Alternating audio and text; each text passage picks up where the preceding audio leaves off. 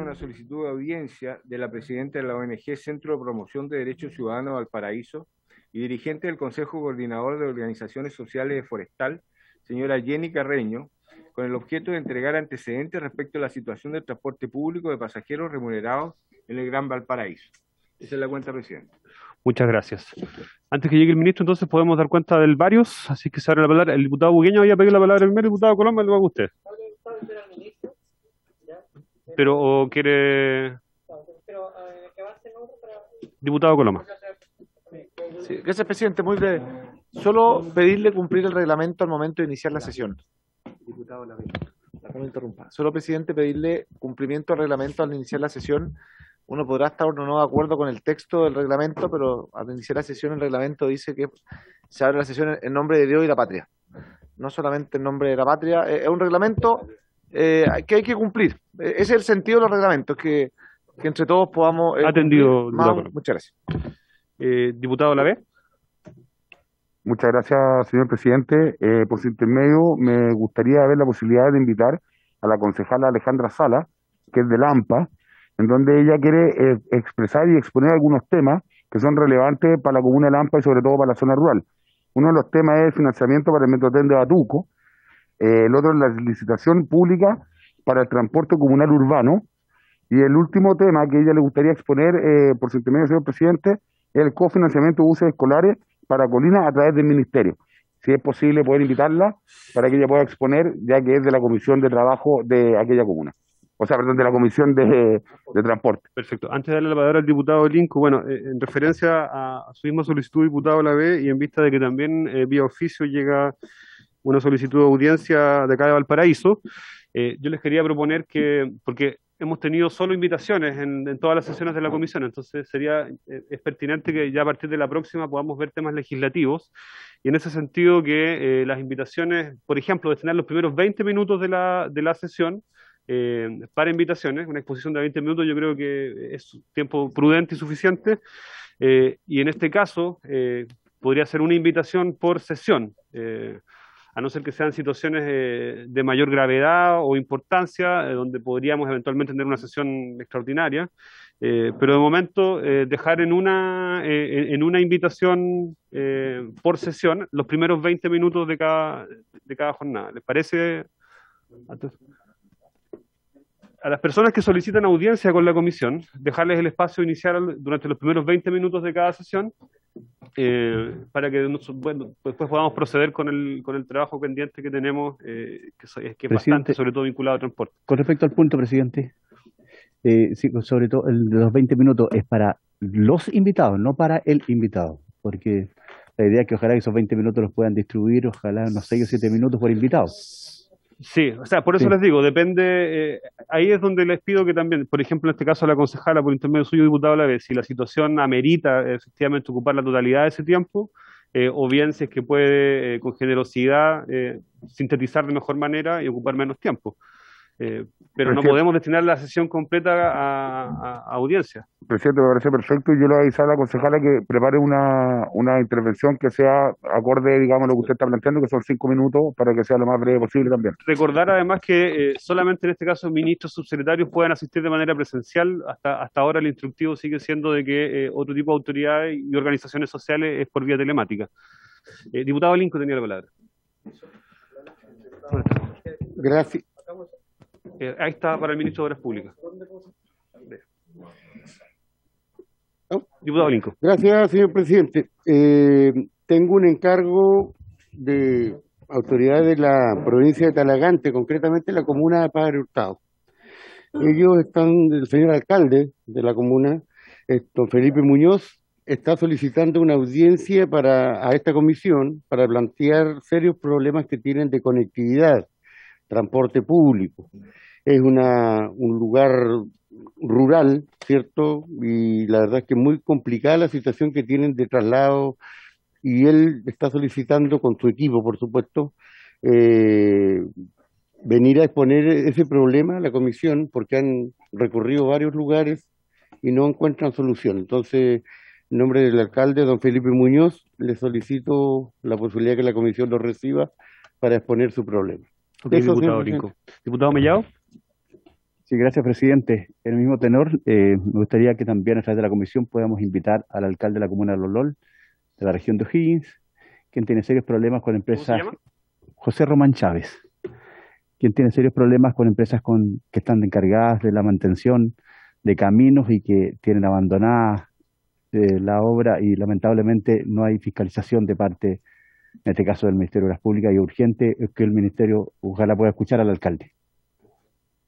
Gracias, presidente. Gracias a usted, diputado Mellado. Diputado. Diputado Castro.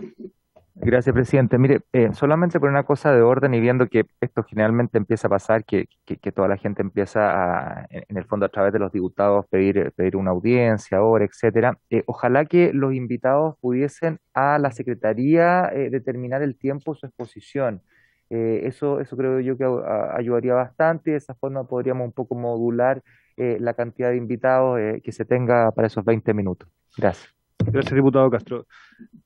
Solo con lo que me han mencionado ahora ya serían tres invitaciones más la que se solicitó de oficio. Eh, yo creo que con esas, o sea, tampoco podemos darle cinco minutos a la gente para, para, para expresarse. Serían, hay cuatro en Cuatro en total. eh, Podemos abordar dos en la próxima sesión y dos en la Eh, subsiguiente. Eso les propongo. eh, podemos determinar, ya que está mediante oficio la solicitud de la ONG Centro de Promoción de Derechos Ciudadanos de Valparaíso, dejar esta para eh, la siguiente sesión eh, y la concejala Alejandra Salas de la Comuna de Lampa y para la subsiguiente eh, el señor Felipe Muñoz, alcalde de Padre Hurtado y el señor José Román Chávez, alcalde de Lolol. ¿Les parece que así sea? ¿Sí? Ok. ¿Qué pasó? Yo no, yo no sé si en varios. espera un poquito. Está el diputado González que había solicitado la palabra previamente. Gracias, presidente. Solo para hacer presente una importante reunión que hubo en el Ministerio de Transporte junto al gobernador de la región de los lagos, alcaldes de provincia de Palena y provincia de Chiloé y consejeros regionales. Hicimos eh, presente un plan para mejorar la conectividad, especialmente la marítima, eh, y esperamos pronto tener una respuesta del Ministerio. Gracias, presidente. Gracias a usted, diputado González. Diputado Buqueño. El ministro, el ministro está. Que de- debería entrar ya. La- ya. Sí. Sí, no, que, ¿Puede hacer pasar entre tanto? sí, que entre el ministro. Sí. Sí. Sí. Y la puerta debería quedar abierta. Ah, pero están los medios Sí. afuera. Ah. Mucho ruido. Sí.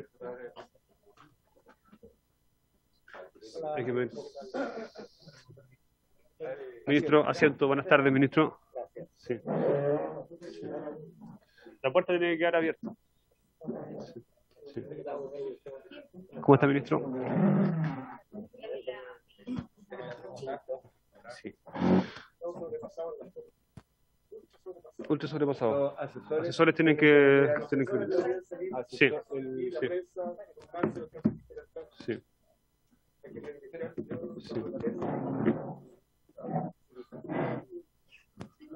¿Es, es posible es posible pedir que bajen lo- el ruido afuera?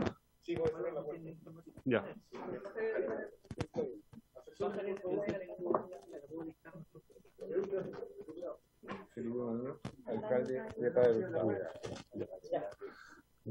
Ya.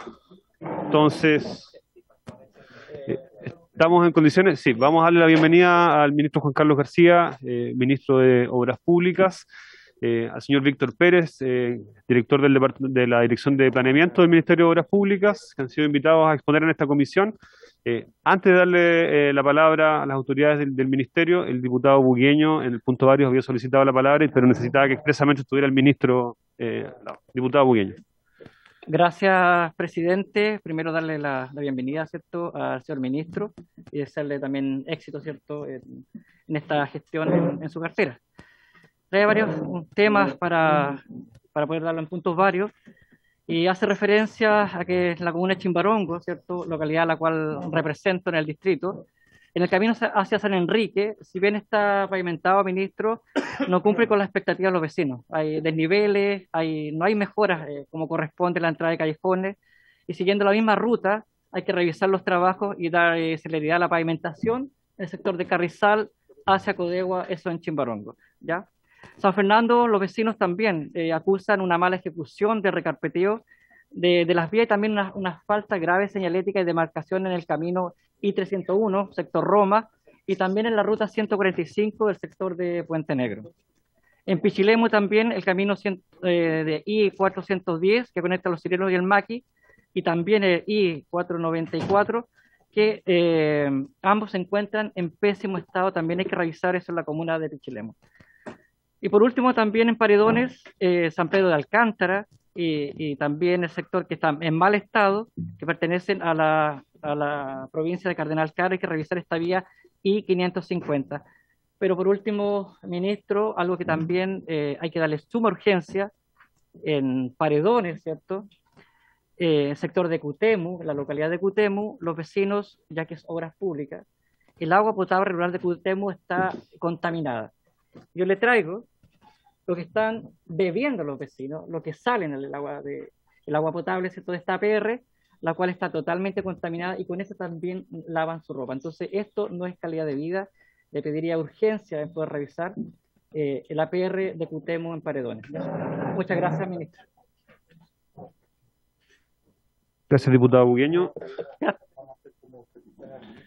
No, vamos a. Quiero hacerles la siguiente propuesta porque eh, ya tuvimos la experiencia cuando tuvimos las autoridades de transporte que eh, nos desfandamos un poco con las palabras. Entonces, eh, quería pedirles que pudieran exponer las autoridades de obras públicas y después eh, que nuestras intervenciones pudieran ser sintéticas de ojalá dos minutos dentro de lo posible. Sé que podemos hacer ese esfuerzo y tratar de. yo sé que es difícil porque todos tienen derecho a hablar pero si alguien ha dicho algo, eh, no, repetirlo después, o sea, como tener esa, esa, capacidad para poder optimizar el tiempo de trabajo en la sesión. Eh, ministro, eh, señor Pérez, tiene la palabra. Al S. Ahí está. Muchas gracias, presidente. Eh, muchas gracias, diputadas y diputados. Para mí es una alegría poder estar acá.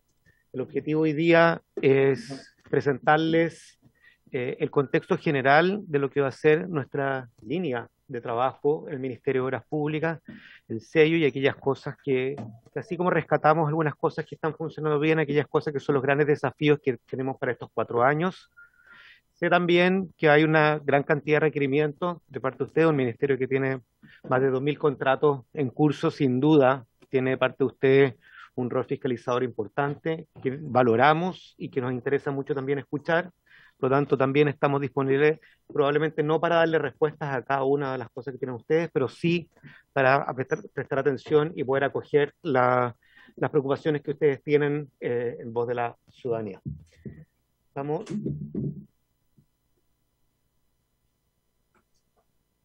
Veamos si veamos la primera.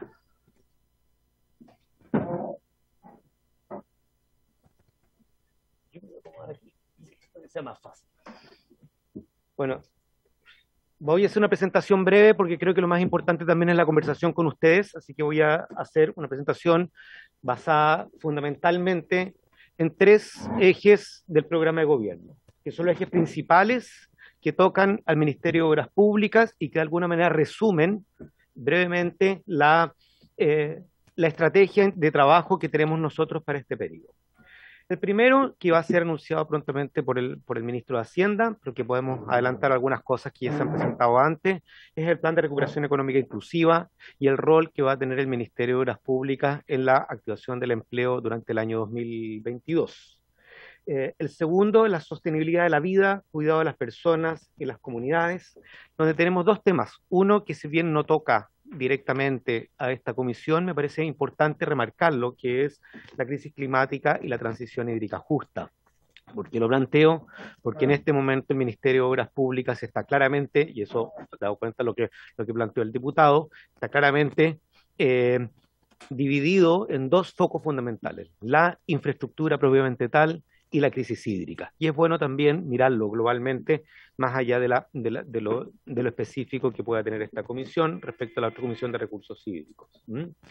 Y lo tercero, que es la profundización de la democracia, que de alguna manera aborda transversalmente nuestro ministerio, donde nosotros queremos tener una visión intersectorial. Estamos trabajando con otros ministerios justamente para abordar la crisis hídrica, los desafíos de infraestructura, la inclusión, donde queremos tener no solamente un plan de, de género que es el mandatado por, eh, por, el presidente y la ministra de género, sino también cómo nos hacemos cargo de las obras con las obras públicas de aquellas personas las que no siempre están incluidas en ellas. Podemos detallar un poco más adelante. Un mayor diálogo con las comunidades y un servicio hacia las regiones. La semana pasada, en el Día de las Regiones, nosotros decidimos iniciar nuestra gira de trabajo para dialogar con los gobernadores y gobernadores, con las alcaldes y alcaldesas, porque creemos que el trabajo del Ministerio de Obras Públicas no se piensa desde el Ministerio, se piensa con las regiones. Y es un cambio que queremos impulsar, que será progresivo, que iremos avanzando progresivamente, pero creemos que es irreversible un Chile regionalizado, donde como Ministerio sí queremos avanzar en esa tarea. Respecto al plan de recuperación económica inclusiva, un asunto bastante breve, porque nos, tenemos hoy día uh, una situación que requiere una, eh, un esfuerzo por parte del Estado que ha sido liderado por el ministro de Hacienda, en la que involucra una gran cantidad de ministerios, que será presentado en particular, pero en la que nosotros como ministerio hemos querido poner a disposición los recursos necesarios para poder fortalecer el empleo. Pero un empleo donde si bien aumentado la, la, el presupuesto del Ministerio de Obras Públicas, un presupuesto que si bien fue definido en la administración anterior y con eh, la, Cámara y el Senado anteriores, nosotros queremos eh, darle algunos, algunos sellos. ¿ya? Este sello es que el, el programa de recuperación económica inclusiva debe tener obras principalmente en regiones en zonas más desvalidas, no tanto en las capitales regionales, y que generen gran impacto social y bajo impacto ambiental. Nos estamos concentrando principalmente en caminos eh, básicos de conectividad rural, APR fundamentalmente. Evidentemente también hay de caletas y otros, pero el gran grueso van a ser eh, agua potable rural eh, y caminos básicos a veces el ministerio que somos responsables de muchas de las grandes obras del país y creo que eso tiene que seguir siendo así, es importante que sea así. Pero en nuestra gestión también esas grandes obras tienen que tener un correlato con aquellas obras que van directo a la ciudadanía. Y ahí ten, les comentaré, tenemos harto eh, que queremos avanzar respecto a lo que tenía el ministerio hasta ahora. Cuando hablamos de empleo inclusivo, significa que tenemos que pensar no solamente el Chile de las ciudades, sino también el Chile rural que ha sido afectado también eh, con esta crisis económica y creemos que ahí podemos hacer una inyección de recursos importantes. ¿Por qué? Porque las obras que se hacen en esos lugares generalmente contratan mano obra local directamente. Hay menos intermediarios y creemos que puede ser un gran eh, impacto en ese sentido. Tenemos que también avanzar en avanzar en perspectiva de género en nuestras obras. Y esto va de, do, de do, dos factores. Como ministerio, en un plan ya más de cuatro años, queremos que la participación de las mujeres en los contratos de obras públicas crezca. Hoy día es de los más bajos y esperamos crecer progresivamente. Eh, es un proceso que tendremos que ir haciendo con las empresas, pero es un cambio cultural fundamental que tenemos que tener como país. Lo segundo, que también quiero contarles que cuando hablamos, por ejemplo, de licitaciones como caminos básicos y APR, también tenemos que entregar otros criterios para estos diseños. Quiero ponerle un ejemplo. Cuando estuve en la Araucanía, hace un par de semanas atrás, creo que se enteraron que estuvimos en la, en la Araucanía hace, hace unas par de semanas atrás, conversando con comunidades que requerían caminos básicos, me planteaban lo siguiente. Sí, efectivamente, el Ministerio de Obras Públicas hace caminos básicos, pero junto con los caminos básicos muchas veces también vienen las animitas. ¿Por qué? Porque los caminos básicos solamente están pensados por los vehículos y hay una parte importante de la población que puede decir que tiene una movilidad alternativa más lenta, personas a caballo, peatones, mujeres con niños, personas de, de la tercera edad, no están incluidos en eso. Y nuestro desafío es cambiar también los criterios para incluir personas que hoy día el Ministerio no está incluyendo en su obra de infraestructura y que es necesario integrar progresivamente. ¿Va a ser algo rápido? No, pero creemos que si no se incorpora ahora, esto no lo vamos a poder incorporar más adelante y creemos que es uno de los sellos que queremos darle a nuestra gestión. Lo mismo en el trabajo en las APR. Creemos que necesitan, a partir de los servicios sanitarios rurales, un reconocimiento y un acompañamiento mayor a las agrupaciones, principalmente liderados por mujeres, donde el esfuerzo que están haciendo no siempre tiene un correlato correspondiente por parte del Estado para el apoyo técnico, para mejorar las condiciones de, de, de, los sistemas de agua potable rural y para todo el asesoramiento que requieren hoy día para que ese sistema realmente cumpla los estándares que nosotros aspiramos como país y que hoy día no todos los casos está funcionando. En el segundo aspecto, que es la sostenibilidad de la vida y el cuidado de las personas y las comunidades, tenemos que pensar que las obras públicas ya no son solo fierro y cemento, que por supuesto que es importante, pero tenemos que entregarle también otras dimensiones.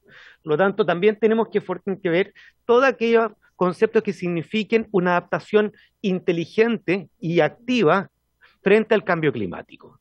Tenemos que fortalecer programas que ya existen en prevención y mitigación, como las obras hidráulicas para, para enfrentar aluviones, por ejemplo, las obras, acabo de estar la semana pasada en Camiña, y en Camiña el trabajo que estamos haciendo con gaviones no está siendo suficientemente rápido para proteger la agricultura de pequeños agricultores que cuando pase el aluvión no salen las noticias, pero probablemente muchos de ustedes conocen comunidades similares eh, a esas.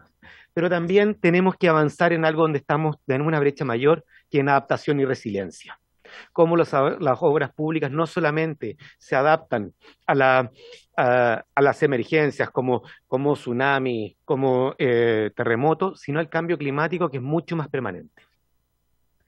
Y el segundo aspecto es un plan de, infraestructura, de inversión en infraestructura verde. Eh, me han preguntado mucho los medios qué opino de las concesiones y quiero plantearles acá también eso. Las concesiones es una asociación público-privada donde solo funciona si el Estado cumple su rol. Y creemos que tenemos una, una brecha que responder en ese sentido. No siempre el Estado ha cumplido adecuadamente su rol. En dos aspectos, creo yo. Primero, en el abuso a los consumidores. Tenemos muchas veces peajes abusivos que tenemos que revisar para los siguientes contratos. Pero por otra parte, también las obras están pensadas solamente en el usuario y no en las comunidades. ¿Cuántos de ustedes han tenido ya reclamos por parte de obras que son de concesiones, que, que, están impactando una comunidad donde no la hemos trabajado adecuadamente con ellas ni con las autoridades regionales? Hablamos de sustentabilidad también cuando hablamos que concesiones, por ejemplo, no debe ser solamente obras de infraestructura vial, sino tenemos que pensar en conjunto como Estado en, una, nuevas alternativas de movilidad y acelerar proyectos que llevan eh, retrasados mucho tiempo, de tranvías, teleféricos, que hoy día están en la cartera de concesiones y queremos darle especial celeridad. Estuvimos con el gobernador de Iquique hablando, por ejemplo, del teleférico Iquique Alto Oficio, que va a cumplir un rol fundamental en, el, en, la congestión que tiene ese lugar y que nosotros queremos sí darle total prioridad, por ejemplo, entre otros lugares que, que podamos ver a nivel eh, nacional. Sin duda, las obras de infraestructura para acceso al agua potable para el consumo humano, donde el Código de Agua nos está entregando también herramientas fundamentales en ese sentido para acelerar la, eh, la, implementación de APR y otros, y bueno, y tenemos todas obras que, son mucho más, que, que, tenemos que avanzar, que son más de largo aliento, que son de infraestructura de las cuencas. Eh, uno de los sellos que nosotros queremos dar, y se lo repito, es una gestión estratégica descentralizada y con sello ciudadano. Por eso lo, lo primero que planteo, si ustedes tienen, ustedes son principales veedores de lo que pasa en sus distritos, y para nosotros no es una amenaza los reclamos de los diputados y diputadas, son la oportunidad de mejorar un trabajo que hacen 9.500 funcionarios y funcionarios del Ministerio de Obras Públicas, que lo hacen con mucho esfuerzo, no estamos exentos de errores, hay cosas que queremos mejorar, pero nuestra disposición es escuchar, corregir y trabajar con la comunidad. Pero también con gobernadores y gobernadoras. Por eso me alegra que esté acá el director de planeamiento, porque uno de los mandatos que le he hecho es que, más allá de las reuniones que yo tengo con los gobernadores y gobernadoras, se trabaje estrechamente con ellos en un plan progresivo de participación en conjunto de la cartera de proyectos. ¿Por qué digo progresivo? Porque sería responsable de mi parte que para el 2023 toda la cartera va a ser participativa, sino que vamos a partir con los APR, con algunos caminos básicos, vamos a ir poco a poco viendo cómo crece la participación de la región en la decisión de los proyectos junto con nosotros que vamos a velar por la mirada nacional y por el equilibrio entre, entre las regiones.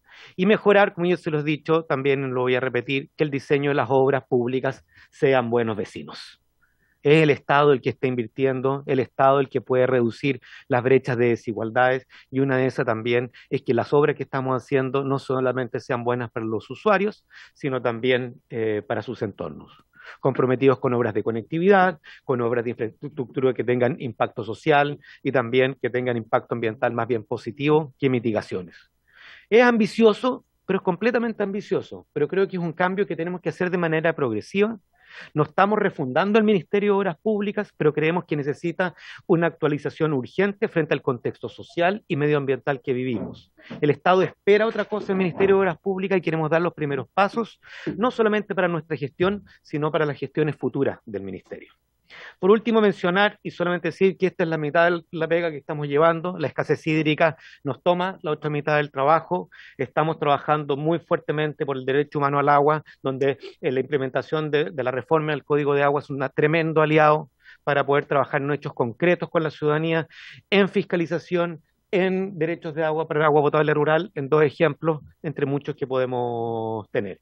Estamos trabajando además en un comité interministerial por una política nacional hídrica ya te estaremos dando más detalles, porque no solamente tenemos que vivir de la contingencia, sino también tener una proyección hacia adelante con, con, con una manera sostenible e integral de, del agua, donde participa, además de que liderado por la ministra de Medio Ambiente, energía, ciencia, agricultura, eh, minería, bueno, y obras públicas.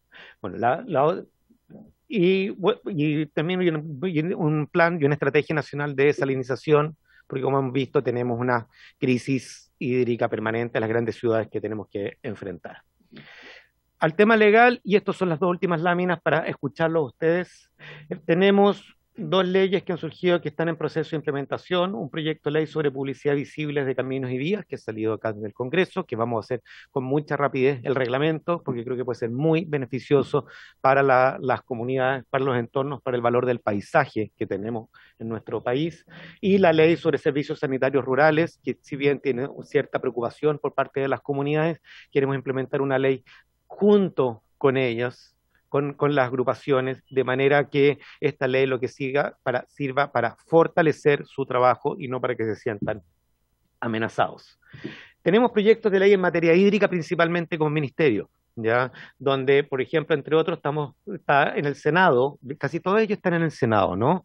Eh, tenemos el proyecto de ley que crea la Subsecretaría de Recursos Hídricos, pero sí queremos un proyecto de ley que hoy día está en el Senado, que es fundamental para reestructurar el Ministerio de Obras Públicas en estos dos pies que tiene, las obras públicas y el agua. Queremos hacerle ciertas modificaciones, por ejemplo, desacoplar la subsecretaría de lo que significa la nueva institucionalidad del agua, que se está discutiendo en otro, en otro espacio, de manera que la subsecretaría sea principalmente un un mecanismo dentro del ministerio con el que podamos responder de, mejor manera al requerimiento frente a la crisis hídrica que tenemos, y eso necesita una jerarquía mayor. En el caso de obras públicas, eh, se van a reír, pero bien en serio, eh, no tenemos una cartera de legislación acá para ofrecerles, pero lo que queremos hacer es trabajar en conjunto, también escuchar las, iniciativas. Muchas de las iniciativas que, el, Ministerio ha estado participando surgen de diputadas y diputados. Y estamos completamente abiertos frente a, a, la experiencia que, tienen ustedes con los territorios para que podamos ir discutiéndola en conjunto.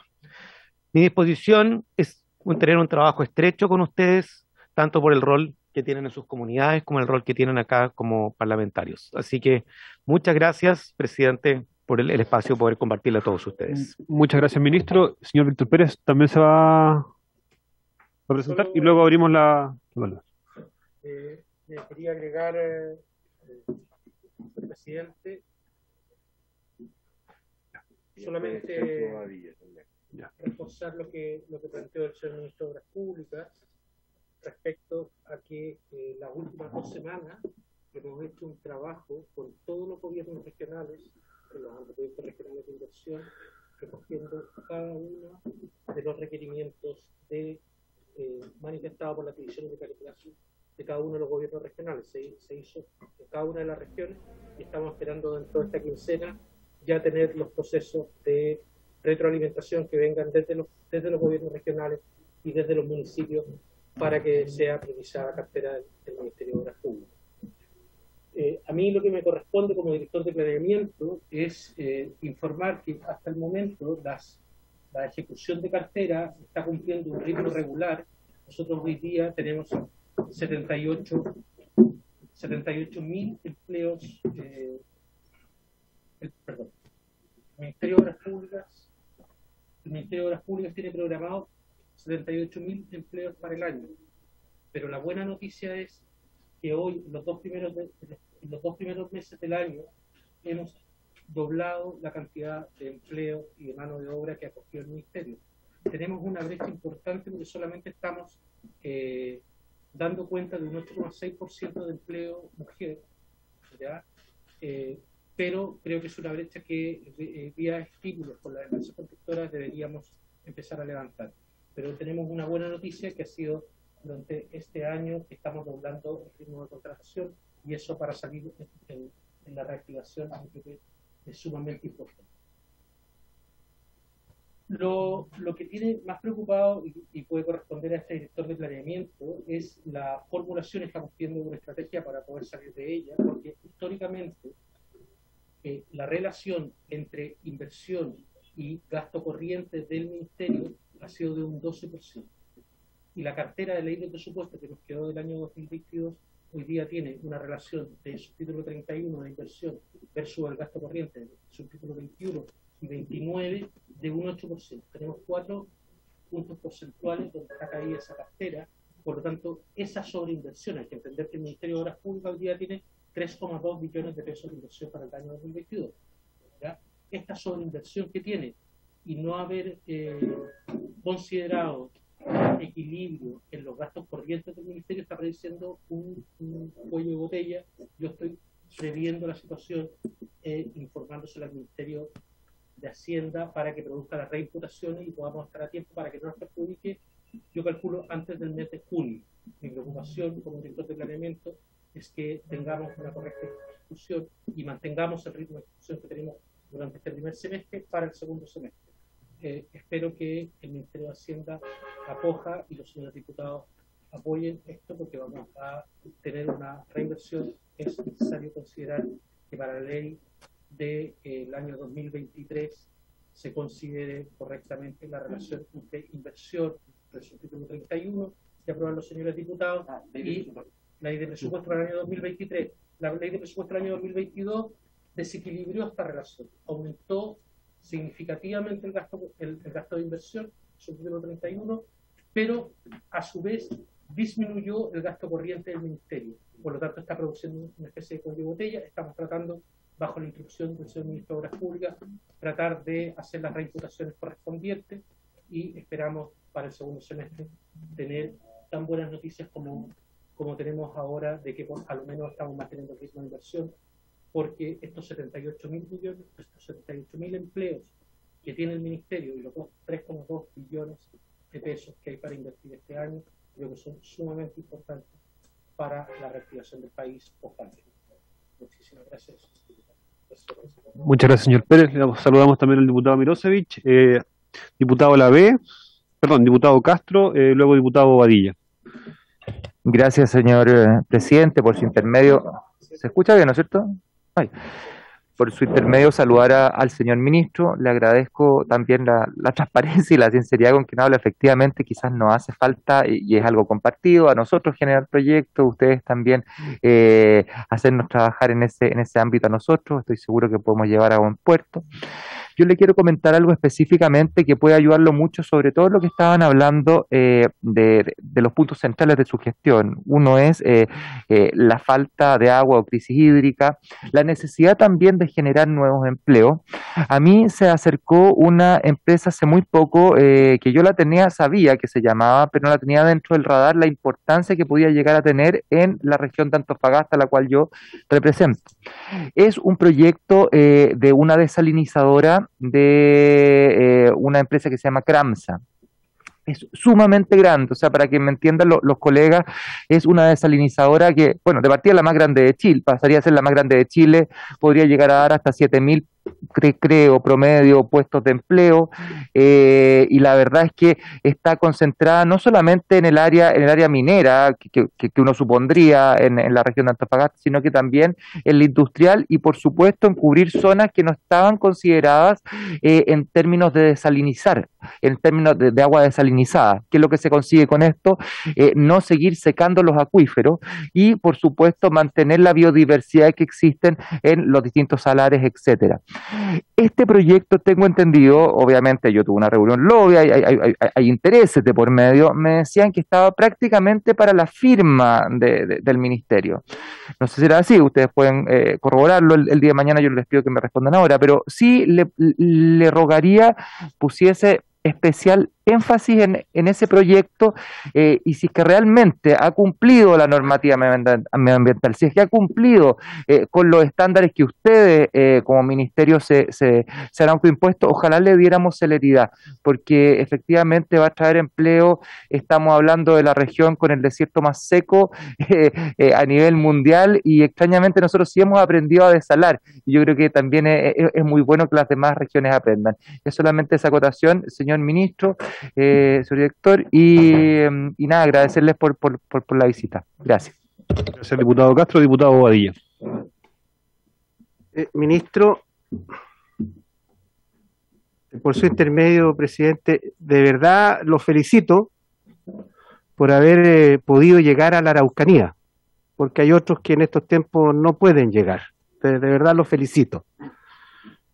Eh, no cualquiera llega, como dice el diputado Castro, y es lamentable que, ocurra así. Así que mis felicitaciones, ministro, por eh, lo que nos informaba respecto a la Araucanía. Lo segundo, ministro, eh, encuentro muy interesante su, exposición, pero hay un tema que, creo que debería haber estado y si, si no lo está yo lo invito a que si nos pudiera hacer algún comentario respecto de esto la congestión vehicular es creciente.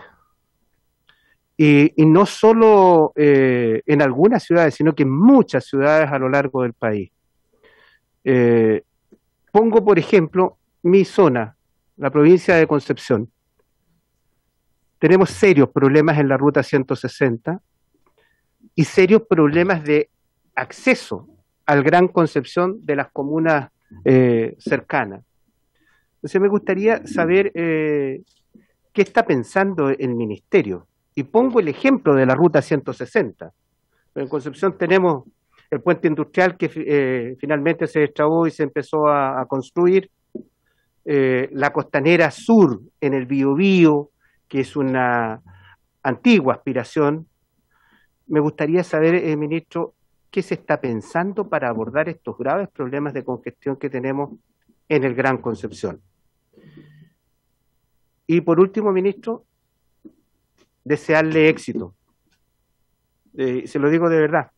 Yo soy de oposición al gobierno, pero quiero lo mejor para mi país.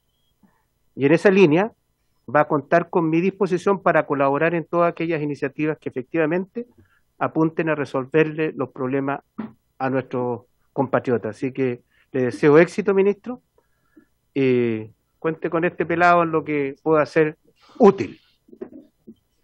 Muchas gracias, diputado Badilla. Eh, antes de darle la palabra al diputado Ojeda, eh, propongo que después del diputado Ojeda está el diputado Mauro González, el diputado Coloma, damos espacio para que respondan y luego abrimos otra ronda de, palabras. ¿De acuerdo? Diputado Ojeda, por favor. Muy buenas tardes, ministro, a todos los presentes.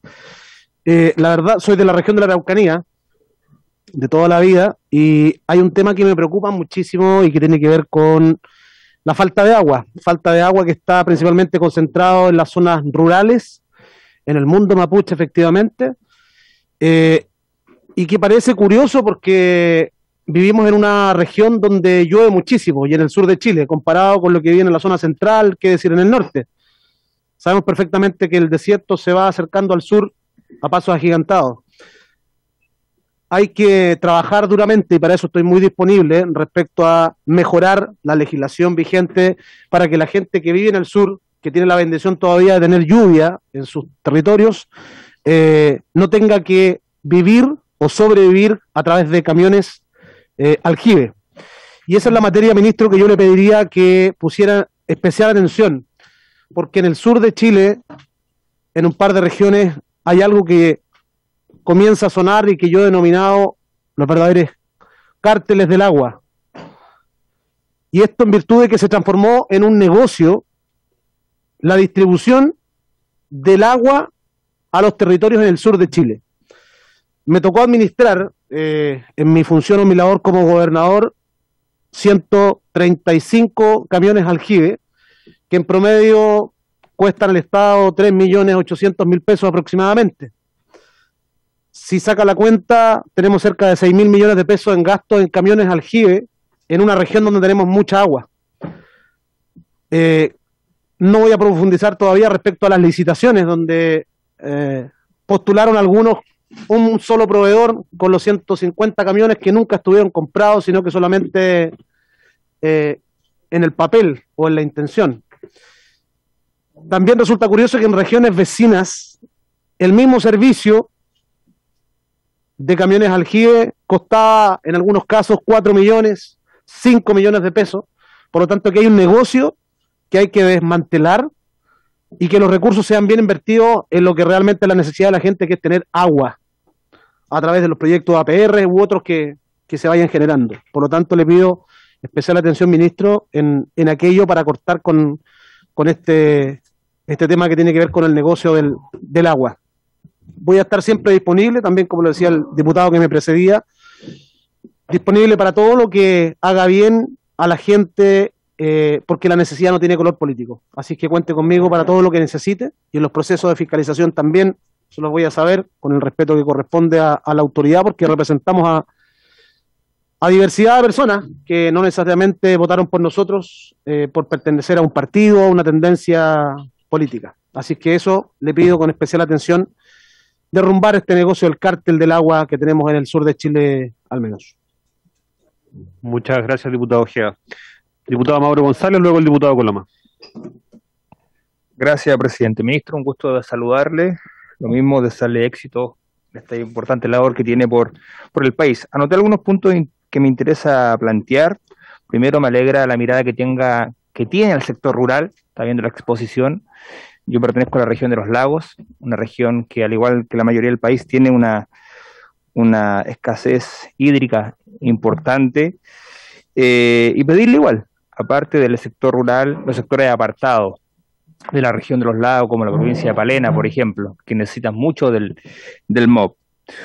También es relevante, ministro, en relación a esta escasez hídrica, eh, quizás nombrar autoridades nacionales titulares, como por ejemplo la Dirección General de Agua. Creo que es relevante tener una autoridad nacional titular para que ya se comience a trabajar en esa, en esa área.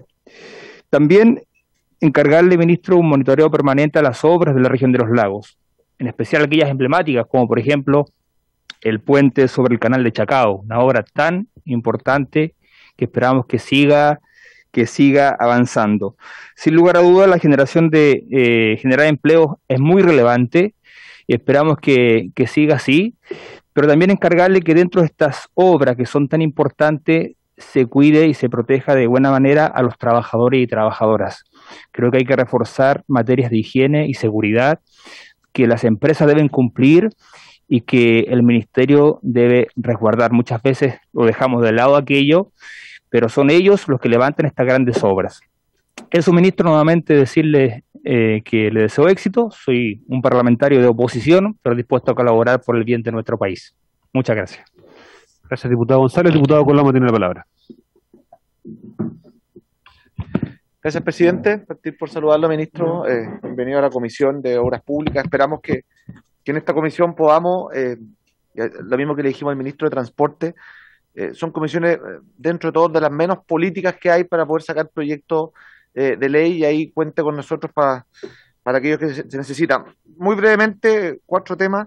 El primero, eh, eh, me alegro que se haya eh, firmado, ¿no es cierto?, y promulgado el, código, el nuevo Código de Agua. Nos gustaría, ministro, pedirle si tienen algún cronograma de trabajo para poder sacar adelante todos los reglamentos y todas las eh, para, para implementar el nuevo Código de Agua. Eh, una cosa es la promulgación del código y otra cosa es que entre en vigencia. Hay mucha normativa que quedó eh, en manos especialmente la DGA para poder tramitar ese, eh, o, o para hacer 100% vigente el código de agua y pedirle si existe algún cronograma eh, de trabajo en esa materia. Segundo, ministro, respecto del tema de las licitaciones, eh, de las autopistas principalmente, ¿cuál es la estimación que tienen desde el Ministerio eh, de la, eh, la cantidad de, de recursos que van a licitar para este año y para los años venideros? ¿Cuál es la estimación del Ministerio? Eh, y pedirle especialmente estar atento a lo que fue ya la, eh, la que está terminando, la relicitación de la autopista del Sol. Yo soy parlamentario por la zona rural de la región metropolitana eh, y una autopista que todavía sigue entregando atrasos, pese a haber ya llevar un, un año, dos meses de atraso, valga la redundancia, en, en el cual debe haber sido entregado. Los tacos son kilométricos, todo, todo prácticamente todos los días o muy seguido, y también la, relicitación de la ruta 68. Eh, tengo un especial encargo del alcalde de Curacaví, Juan Pablo Barros, para, para poder ser parte de la mesa que trabaje estas esta distintas propuestas en materia de relicitación. Tercero, eh, ministro, ver la posibilidad de, de impulsar eh, una red de, de microembalse a través del Ministerio de Obras Públicas en la, en la zona que me toca representar, las provincias del Maipo, junto con el diputado Raza, las provincias del Maipo, Talagante y Melipilla. Eh, no, no existen eh, embalses, salvo, ¿no es cierto?, los que son para, para el consumo humano en la alta cordillera, pero, pero para efectos de la agricultura hay muy poco microembalse eh, y es probablemente la forma eh, en, en, este, en estos momentos de poder a, acumular algo de agua para que no se nos arranque y no se vaya finalmente al mar como ocurre hoy día.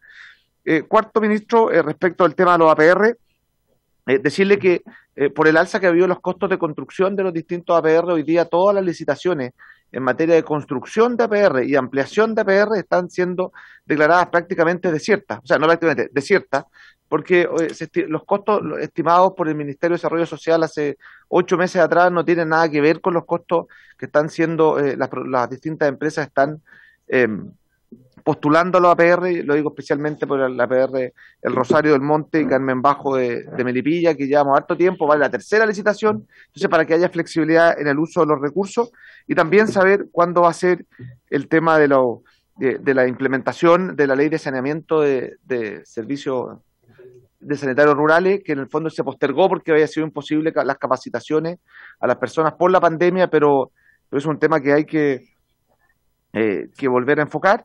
Eh, penúltimo, eh, muy breve, eh, eh, si nos puede, desde el Ministerio de Obras Públicas, probablemente de los ministerios que más recursos va a gastar durante este, este año, si nos podemos tener cuál va a ser la estimación de gastos que tienen ustedes desde enero hasta diciembre para poder ir trabajando eso en la comisión, creo que es un tema importante para poder trabajar. Y lo último, ministro, y aquí quiero partir por lamentar que he tomado conocimiento de que se le ha pedido la renuncia a, muchas, a muchos funcionarios, eh, pero sobre todo a muchos funcionarios de alta dirección pública. Eh, y saber cuáles, cuántos son los recursos que desde el Ministerio tienen eh, calculado que van a, va a significar las indemnizaciones para estas personas, que muchos de ellos eran de carrera, de OH, por ejemplo, eh, y otros que, que han sido, que fueron todos eh, desvinculados o, o, solicitadas su renuncia en, lo- en los últimos días, saber cuántos son eh, exactamente, cuáles son los montos totales de las indemnizaciones que va a tener que eh, gastar el fisco para poder eh, pagársela eh, fruto de, la, de los despidos. Gracias. Gracias, diputado Coloma. Le damos la palabra al ministro, luego la diputada Nullado, el diputado Cosme Mellado, y por ahora nadie más tiene la palabra. Ya, vamos a Dipu- Diputado Raza al primero, luego el diputado. Ministro. Gracias, presidente. Por su intermedio, voy a intentar tener, para no extenderme en, exceso, de abordar cada uno de los, puntos que, plantean ustedes. Desde ya agradecer la disposición al trabajo en conjunto que, ustedes plantean. Eh, esa misma disposición que tienen ustedes, yo la, la hago recíproca de mí hacia esta comisión.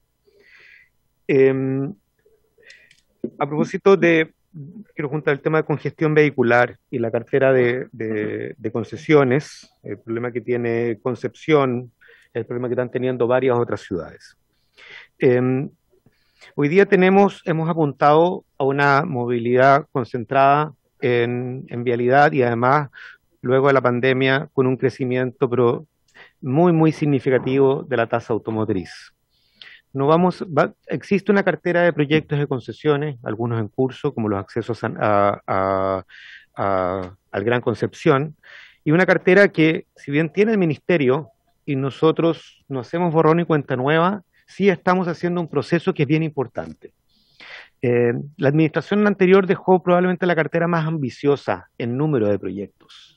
Eh, y eso, eh, y esa cartera en algunos casos está a nivel de propuesta y otro a nivel de diseño. Sin embargo, cada una de esas cosas, como lo planteó el diputado Coloma, lo que adolece es participación de las comunidades. Muchos de ellos, ni los gobernadores, ni alcaldes, ni alcaldesas, tienen una, un conocimiento de, esa, de, de esas obras, y que es lo que muchas veces nos termina generando impactos tremendamente negativos posteriores. Lo que vamos a hacer nosotros ahora es trabajar en dos niveles, en aquellas obras esa cartera de inversiones que no son solamente una relicitación por una conservación, sino que generan obras más importantes, también rápidamente, en función de los calendarios que tienen ellos, trabajarlos con los gobernadores, gobernadores alcaldes y alcaldesas. Nos parece fundamental ese trabajo. Pero también en aquellas, eh, en aquellas obras de infraestructura que implican eh, un, un, que tienen que ver con, con, la infraestructura vial completa de ciudades, como, como las obras de, la, de la, las orbitales de Santiago, Valparaíso y entre otros, también creemos que las obras públicas, donde está el Ministerio, también tienen que ser en coordinación con el Ministerio de Vivienda y el Ministerio de Transporte. No podemos seguir con esta lógica sectorial. Del mismo modo, efectivamente, eh, no vamos a resolver estructuralmente la congestión con las carreteras. Hoy día lo que estamos haciendo es paliar un problema.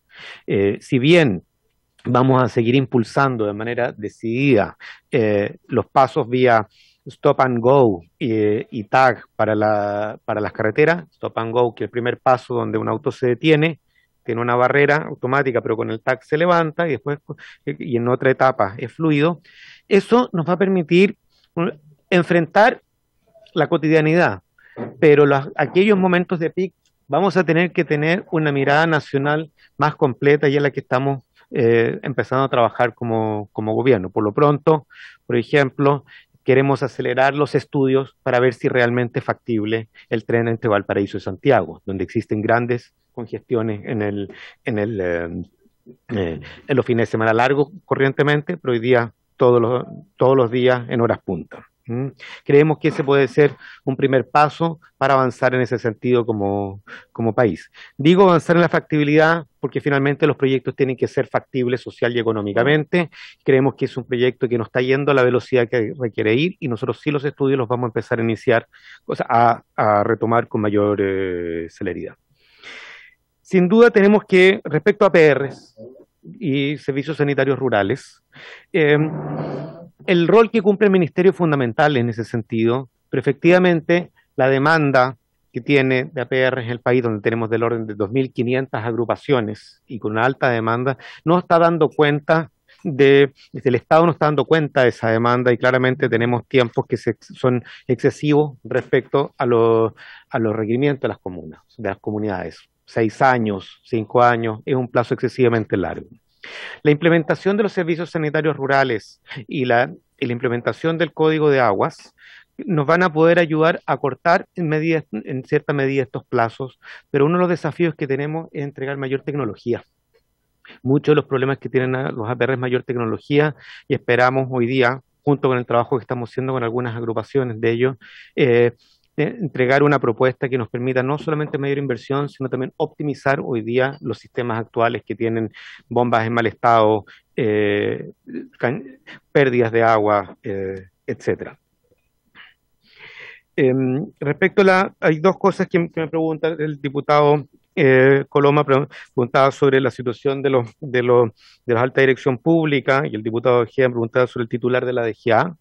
nosotros recibimos esta administración sin titular de la DGA eh, y lo que estamos solicitando eh, al servicio civil poder hacer el concurso a la brevedad. Y en los otros casos, diputados, sí, son de alta dirección pública.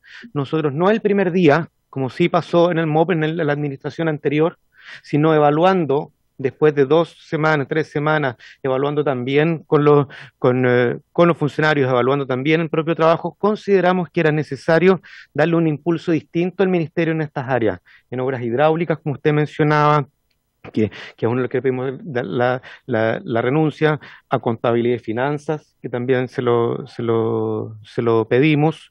No se lo pedimos a vialidad, por ejemplo, se lo pedimos a arquitectura de común acuerdo, a concesiones de común acuerdo. No, lo que estamos haciendo acá es que también los directores y directoras necesitamos que estén, que estén eh, que su gestión esté en coherencia con los desafíos próximos que tenemos como país. El sistema de alta dirección pública tiene sistemas de indemnización establecidos. Se vaya, no se vaya, en los, en, en los periodos que, cuando cumple un periodo, tiene un sistema de indemnización establecido. Por lo tanto, no es ¿Sería ahora o sería después? Ese pago se tendría que ser igual, diputado. Lo que sí quiero decirle que es bien importante que, en ninguno de estos casos, y eso lo remarco porque para mí es bien importante, se hizo de mala forma, se hizo solamente por un correo. Yo hablé personalmente con cada una de las personas y a ellos les planteé que necesitamos tener un desafío distinto. Claro que tenemos miradas distintas algunas veces, diputado, pero sí quiero ser muy claro, hubo un cuidado y un respeto a cada uno de ellos y lo sigo manteniendo el cuidado y respeto a cada uno de ellos. Me pidieron vacaciones, se las di. Y, y solo lo que estamos haciendo es una mirada, necesitamos una mirada distinta para los énfasis que tenemos en este, en este periodo. Eh, respecto a la implementación del código de agua, siempre es más difícil eh, acá con, nuestros asesores que están por Zoom. Me gustaría que del equipo de asesores que justamente me están viendo el código de agua podamos clarificar ese punto en particular sobre el cronograma de, implementación. Eh, Le doy. ¿Estefano? Estefano, ¿estás tú ahí? O, o, Carlos, no sé cuál de los dos está en ese momento, porque no lo logro ver. Estoy aquí, ministro. Carlos, por favor. Eh, efectivamente, eh, ministro, eh, la preocupación del diputado es precisa y es muy importante.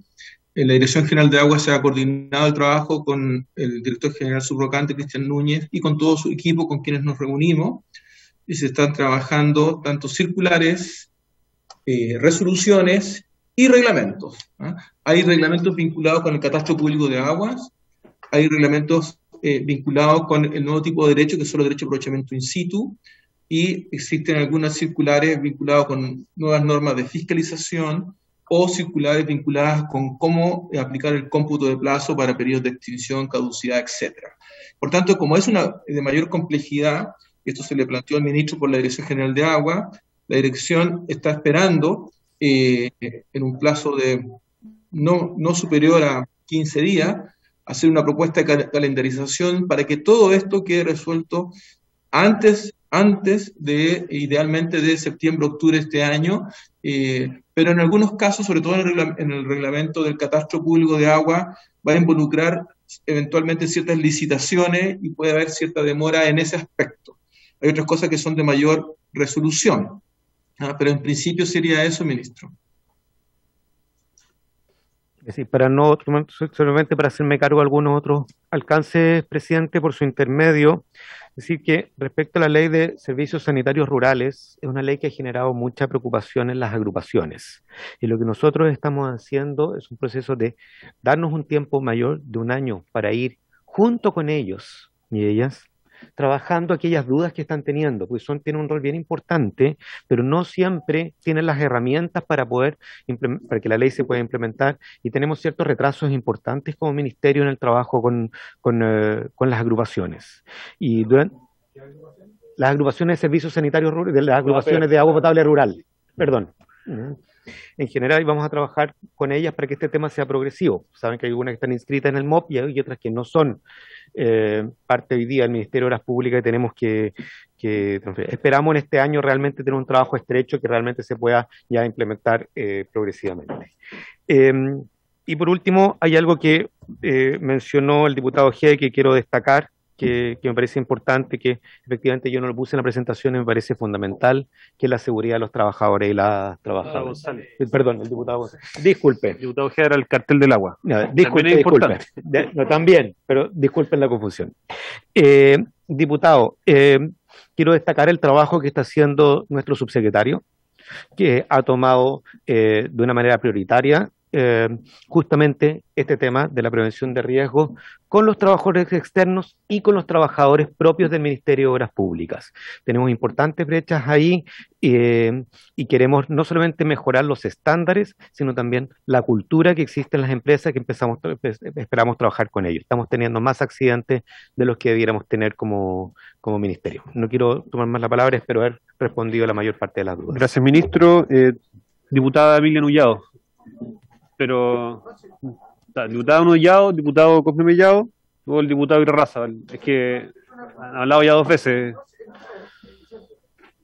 Diez segundos. 10 segundos. Solo Contando. pedirle al ministro que, eh, dentro de lo que le pedí- eh, nos dijo el asesor, que iba a hacer un cronograma para el tema del código de agua, si nos puede enviar el cronograma a la comisión para tenerlo, y lo otro, si es posible, que nos envíen el- el- la, la estimación de, de, de los gastos del Ministerio de Obras Públicas por cada uno de las. De la, de la, ah, Queda registrado sí, su solicitud. Eso, si, es posible. Diputada, diputada Emilia Nullado. Foro público, no son del, del MOP, esos gastos de la indemnización de la ADP. Ya, pero evitemos los diálogos porque si no, no vamos a avanzar nunca. Eh, diputada Nullado, por favor. Gracias, señor presidente. Saludar al señor ministro y al señor director de planeamiento. Yo quisiera primero valorar esta gran presentación que hace el señor ministro y el director nacional de planeamiento y me alegra mucho el sello ciudadano de incorporar dentro de esta estrategia el poder incorporar sobre todo a las mujeres. Pero también me gustaría que pudieran incorporar las variables de pertinencia cultural para la relación con los pueblos indígenas y de igual manera eh, incorporar esta eh, situación que tiene que ver con cada una de las regiones, sectores que prácticamente tienen también sus propias articulaciones, su propio eh, territorio que debiera estar también definido en la participación de cada uno de ellos. Y lo otro que quisiera eh, preguntar, sé que ya hay algunas preguntas que se han respondido y que pudiéramos tal vez no caer en lo mismo como nos señaló el señor presidente, pero quiero eh, ver la posibilidad de que se pueda reactivar un plan de infraestructura con mayor presupuesto para el territorio mapuche, para el Gualmapu, porque el año 2008, en el primer gobierno de la presidenta Bachelet, se generó del Biobío a la región de los lagos, por lo tanto es necesario que se le pueda dar un impulso donde hubieron recursos tanto para hacer estudio como para ejecutar caminos de comunidades y que anteriormente estuvimos muy eh, diría fuera de presupuesto y por lo tanto también eso hoy día estamos en un retraso absoluto.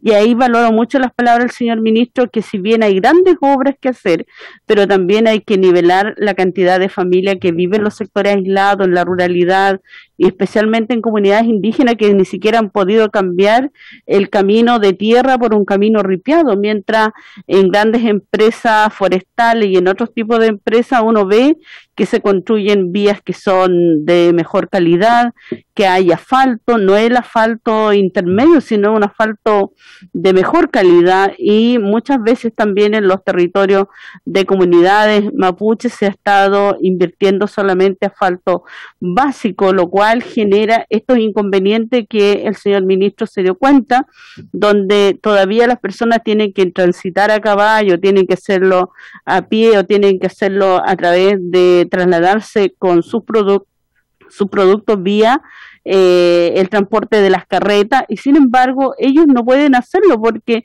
no tienen la posibilidad de poder transitar. Entonces eso ha coartado el desarrollo eso nos ha dejado en una absoluta discriminación eh, de poder tener la posibilidad de que cada día eh, en la ruralidad exista mayor justicia e igualdad que aquellos que han crecido y tienen, han tenido la oportunidad del desarrollo. Eh, por otro lado, creo que es necesario desde ya, no sé si será una ley, un decreto, el que se pudiera incorporar los caminos CORA, los caminos de la reforma agraria, que ellos están sujetos año a año a solicitar eh, a través de la glosa para que se pueda invertir en esos caminos y también tiene un retraso absoluto. Ahí hay que entregar justicia y dignidad a los campesinos y campesinas de la reforma agraria, que donde muchos hoy día no tienen la posibilidad de desarrollarse.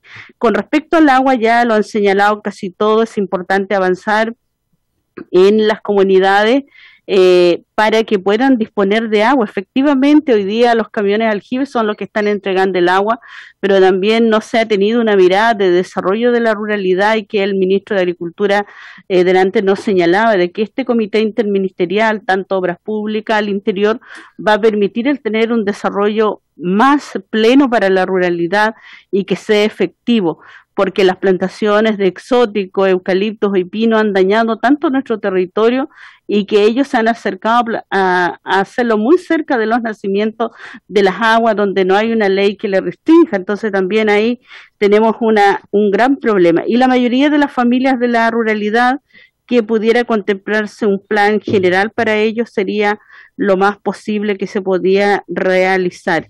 Y también hay un proyecto que eh, a raíz de la situación de los servicios sanitarios, donde eh, las multas que puedan quedar en en la, en la comuna, como fue la situación de Osorno, que muchos conocieron, 11 días estuvieron sin agua, y el pago de las multas se requiere que eh, a través de este proyecto pudiera patrocinarlo el Ejecutivo, señor Ministro, para que este se podría revisar, porque ahí se puede invertir y apoyar a todos aquellos emprendedores que perdieron gran parte de su trabajo y de esos 11 días, lamentablemente a la fecha ha sido muy poco lo que se ha podido apoyar. Y con respecto a mejorar las licitaciones que ya lo señalaron, en las empresas tenemos en la ruralidad, sobre todo en camino de comunidades indígenas, que empresas con multirol, multiroot, lo que hacen es dejar en muy malas condiciones los caminos y finalmente eh, tiene que nuevamente Vialidad tratar de eh, volver a incorporar presupuesto, sería importante revisar o hacer algunas modificaciones cuando en la licitación se considera el menor valor, pero a veces estas personas lo hacen con el objetivo de adjudicarse una licitación y posteriormente no dan cumplimiento. No sé si habrá que tener ahí una modificación en las bases reglamentarias o alguna forma de buscar una solución o mayor fiscalización, porque al final quien pierde es el ciudadano, eh, la familia que tenía la esperanza de contar con camino y que tiene que esperar un año o dos años más mientras se termine todo el proceso de liquidación. Gracias, señor presidente. Gracias, diputada Nullado. Sigue el diputado Cosme Mellado, luego el diputado Irarrázaval, el diputado Bobadilla y después el presidente toma la palabra. Gracias, presidente. Presidente, junto con saludar al señor ministro de Obras Públicas, quiero recoger sus palabras, ministro, por su intermedio, presidente, de la disposición y voluntad de esta comisión por aportar algunos antecedentes que tal vez le puedan servir como recogiendo también algunas inquietudes del, del territorio que nosotros tenemos, sobre todo en algunos distritos, sobre, sobre manera rurales. Le comento esto, ministro, porque por su intermedio, presidente, porque uno de los grandes temas que afecta a los APR es muchas veces no contar con financiamiento para proyectos de intención o mejoramiento de los proyectos de agua potable. ¿Por qué tienen esta dificultad? Porque muchas veces se requiere la contratación de un profesional de alto costo para los comités. Y los comités de agua potable, que si bien es cierto, algunos tienen mejores ingresos, otros no lo tienen tanto, no pueden responderle a los eventuales usuarios que puedan haber allí. Me he encontrado en San Vicente, en la provincia del Cachapual, en Peumo, en Las Cabras, en Pichidegua, en San Fernando, en mi comuna, en Chimbarongo, en cada una de las ciudades y comunas que represento en este congreso, me he encontrado que el gran problema de los APR es no darle respuesta a los futuros socios que pueden tener esos APR. Por lo tanto, se requiere urgente una glosa presupuestaria tal vez que podría solucionar el problema, financiando y también, cuidado, manejando de buena forma los costos de estos profesionales que oscilan entre un millón hasta 20 millones de pesos los estudios. Entonces, imagínense la diferencia y el rango en que se mueven estos, estos montos. Me lo han planteado una serie de, dirigentes de los proyectos de perdón, de los comités de agua potable y cooperativas de agua potable de la región de O'Higgins. Con respecto al tema que usted planteó, ministro, con la participación ciudadana, es fundamental El gran problema que tienen las grandes inversiones en obras públicas, sobre todo en caminos, ya sean bypass, por ejemplo, la ruta de la fruta, en la comuna de Las Cabras, en San Vicente, Peuma, allí que se la conocía como la ruta de la muerte. Eh, se requiere allí la participación de la comunidad. La comunidad siente que se está preparando un proyecto sin participación ciudadana y eso es fundamental. Eh, tenerlo en cuenta. Eh, con respecto también al tema de las concesiones, usted mencionaba como una alternativa, tal vez en el tema vial o del transporte pueda resultar, pero yo me gustaría que nos pueda entregar algún informe de lo que pasa con el embalse Convento Viejo en Chimbarongo. En el secano costero, donde supuestamente este embalse iba a prestar un servicio a miles de pequeños agricultores, no está cumpliendo su objetivo. Me parece que el gobierno, el gobierno pasado anunció muchas veces una etapa de canalización de dichas aguas, lo que nunca se concretó. Por lo tanto, los vecinos de ahí del Valle del Milagüe, del Olol, del secano costero en la provincia de Colchagua y Cardenal Caro sienten que ese embalse no fue pensado al final para la pequeña agricultura. Es urgente revisar, es el único embalse concesionado en Chile. Por lo tanto, se requiere también tener un informe claro si vale la pena mantener esa concesión. Y por último, presidente, por su intermedio, señor ministro, la Dirección General de Aguas es la encargada de fiscalizar lo que ocurre en la región, en las regiones. No sé si se fará falta de personal o falta de facultades, y también del abuso que existe de los grandes agricultores con respecto a los pequeños.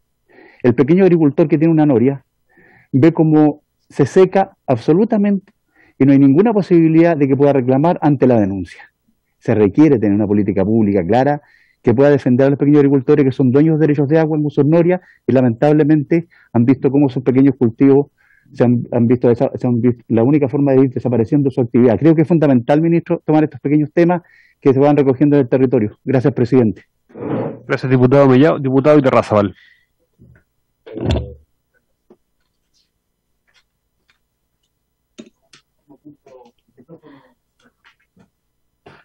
Ahí sí. Tomando el último punto del diputado Mellado por, su intermedio presidente. Allí hay un proyecto de organizaciones de aguas subterráneas que está aparentemente varado en la dirección de aguas hace tiempo y es una de las cosas, claro, en las que hay que avanzar. No quería que se me fuera esa idea. Em, pero primero, efectivamente, yo también quería eh, agradecer su, su visita a esta comisión felicitarlo porque creo que a grandes rasgos también tenemos una visión parecida de las, de las cosas importantes. Eh, una, lo urgente, que es la crisis hídrica, y la segunda, que son precisamente los caminos rurales, ¿ah?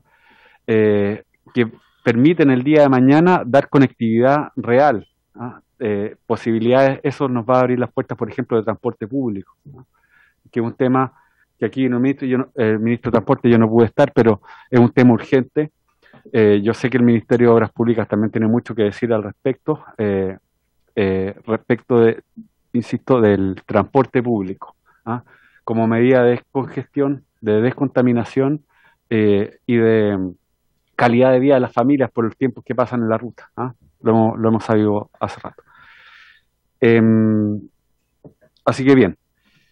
Y en particular, sí me gustaría tocar algunos temas, algunos ya se han tocado, el tema de la PR, evidentemente que es un temazo.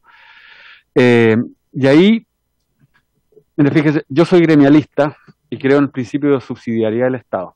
Que lo que dice es que cuando el Estado, o sea, cuando los particulares no están haciendo la pega, el Estado tiene que asumir. Y de cierta manera, en los APR, eh, que se le está dando una participación activa a los ciudadanos, lamentablemente, eh, casi que se les, se les, está metiendo en un problema. ¿ah? uno no puede decir si es la mayoría de los casos o no, pero las dificultades a las que se enfrentan por varias razones es grande. Yo creo que ahí hay que eh, hacer una modificación del sistema de administración de los APR eh, grande, ya quizás cambiar el modelo de gestión, porque es un tema técnico, incluso para, para nosotros, para ustedes, con mayor razón, para los habitantes de las distintas comunidades. ¿ah? Eh, efectivamente tienen que haber instancias de participación, pero ahí eh, se le está otorgando a veces una carga más que un, una instancia de participación. Y respecto de la participación, eh, señor ministro, por su intermedio presidente, eh, creo que también hay que hacer una revisión de cómo se plantean en los proyectos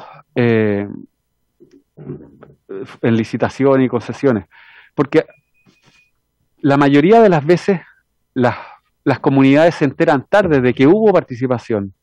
Y la participación, como depende por de pronto de, de las empresas o, o bus- buscar la instancia de participación, no es efectiva, es, es formal, por así decirlo, o está, o está maqueteada en, o, o galleteada, por así decirlo, en organizaciones funcionales a veces a los proyectos, ¿ya?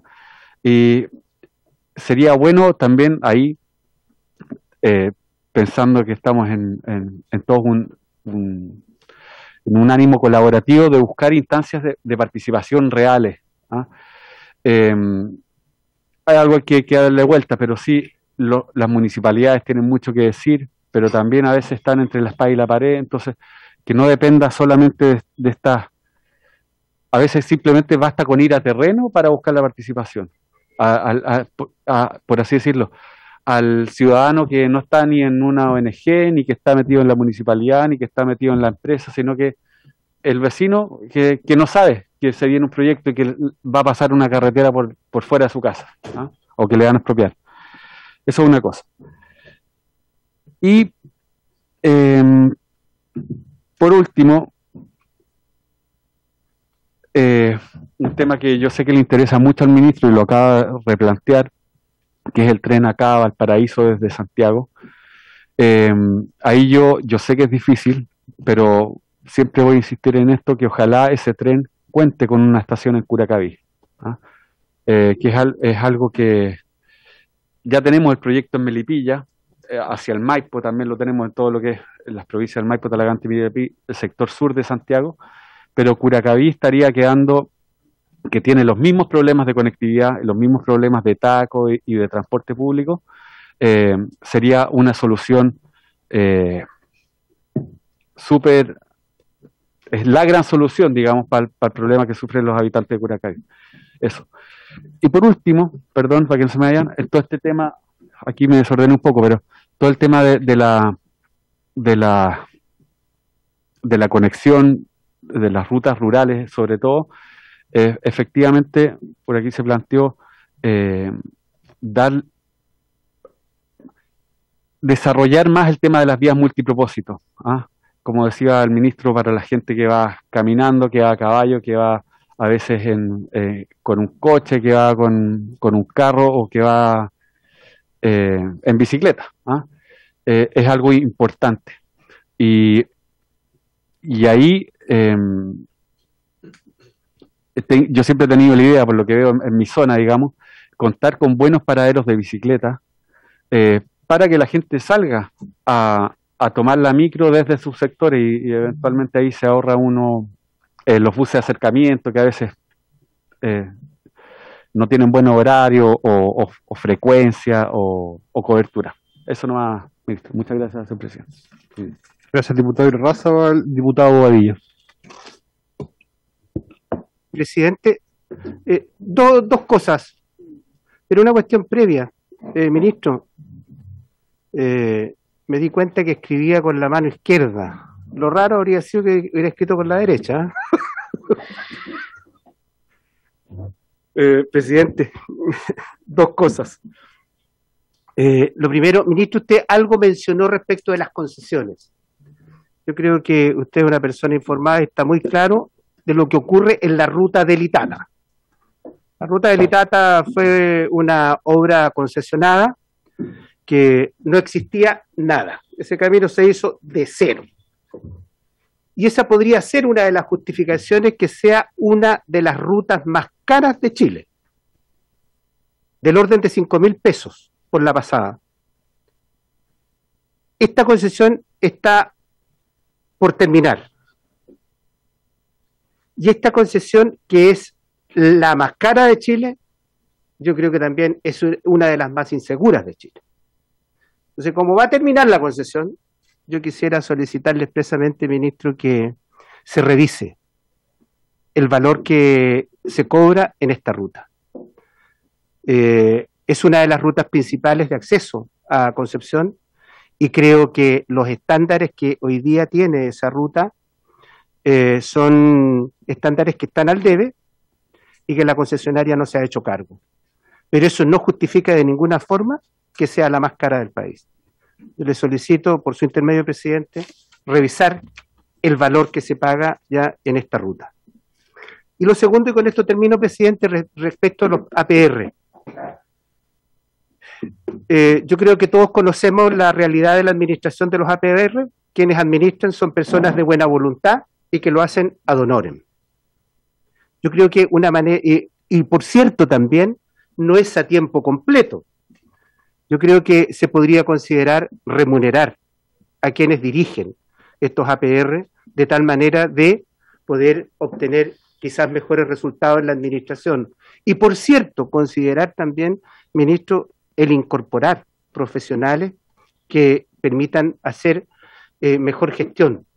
No quiero desconocer, todo lo contrario, yo reconozco el aporte que hacen los dirigentes de los, de- de los APR, que han hecho un tremendo trabajo por año. Y yo creo que es justo a lo mejor considerar que sean remunerados. Nada más, presidente. Gracias, diputado. Diputado González. Gracias, presidente. Eh, ministro, me alegra saber esta preocupación y más que preocupación, ocupación sobre temas de seguridad laboral en las obras que hemos estado conversando. Sin lugar a duda, los accidentes han, aumentado. La construcción es una actividad de, de mucho riesgo, así que me alegra saber esa, esa postura y darle como sugerencia que se coordine un trabajo igual con la dirección del trabajo. No solamente ellos fiscalizan, sino que también entregan asistencia técnica, capacitan, entregan información. Creo que es un trabajo oportuno coordinarlo en favor de los trabajadores y trabajadoras en relación a la seguridad. Eso, ministro, muchas gracias. Gracias, diputado González. Ofrezco la palabra a algún otro señor, señor diputado. Señor. Su micrófono, diputado. Ministro, eh, me gustaría, por favor, si pudiese revisar el tema que tiene que ver con peajes. Región de la Araucanía, ruta 5 Sur, pasado el aeropuerto. Existe un peaje que conecta con la zona lacustre, Villarrica, Pucón y todo el sur de Chile. Allí una licitación en su momento para construir la doble vía, eh, concesión que ya terminó terminó hace un par de años atrás, por eso me gustaría que se pudiese revisar en específico.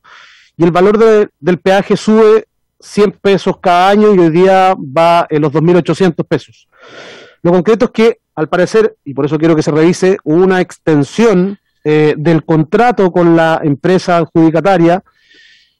El problema que veo es que se sigue cobrando exactamente la misma, el mismo valor en el peaje si esta empresa que postula la licitación para construir y luego para mantener eh, una vía, evidentemente tiene que ser un negocio para la empresa, y cobraba este valor de los 2.500 pesos aproximadamente.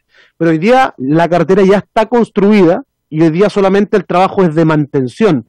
Por lo tanto, a lo menos considero algo injusto que se siga cobrando exactamente el mismo valor si ya no tenemos o ya recuperaron como empresa el valor eh, por la misma construcción. Creo que sería muy bueno que lo pudiese revisar, por favor, ministro, se lo encargo personalmente. Gracias, diputado Ojea. Me voy a tomar la- la palabra, eh, a no ser que alguien más, diputado Mirosevich, quiera intervenir o, o alguna otra. Bueno, eh, agradecer la, la visita, ministro, eh, Víctor también. Creo que aquí hay un, un- llamado de atención también para nosotros como, como Cámara, eh, en términos de cuando se configuran los presupuestos de la Nación.